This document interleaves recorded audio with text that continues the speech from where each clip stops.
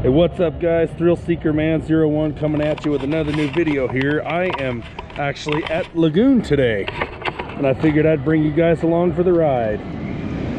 I came down here, came down here to have some fun today. Wanted to bring you guys along for the ride. I came down here on that. Oh yes, this is Bumblebee, my mighty iron steed.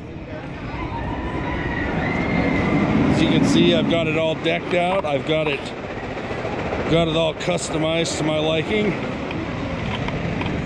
But I told you guys about Bumblebee. I never showed it to you, and It shocked me. there's a lot of people around, so I gotta be careful. I am, oh, heads up, roller coaster ear rape incoming.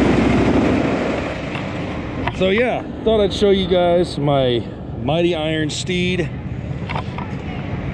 You guys never got to see Bumblebee before. I told you guys about him, but I never showed you guys him yet, so yeah.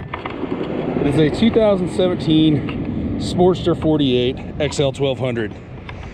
As you can see, I put a windshield on it, ape hangers, bags, tall sissy bar on the back, which you can't see because the bags are covering. But yeah, we're gonna have some fun today. We're gonna go on some rides and I'm gonna try to take you guys along with me on some of the rides. So yeah, that's my motorcycle.